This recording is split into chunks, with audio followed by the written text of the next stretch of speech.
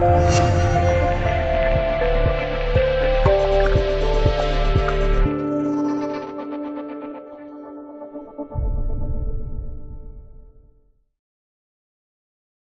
标题：俄空降兵司令，二零一九年空降兵将列装约三百件武器装备。据俄新社二零一九年二月二十二日报，大俄空降兵司令安德烈。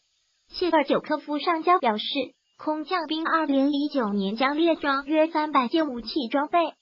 他表示，二零一九年计划列装约三百件武器装备，其中包括九十多辆 BMD 四 M 空降兵战斗车和 BTRMDM 多用途改进型空降兵装甲运输车。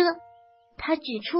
空降兵将获得九千五百多件人员空降设备和用于空降技术装备及物资的伞降系统，以及五百件卫星导航设备。谢尔久科夫补充称，二零一九年底国防订货任务后，空降兵装备的现代化水平将达到百分之六十七点九，较二零一八年增长百分之四点二。中国船舶信息中心孟光。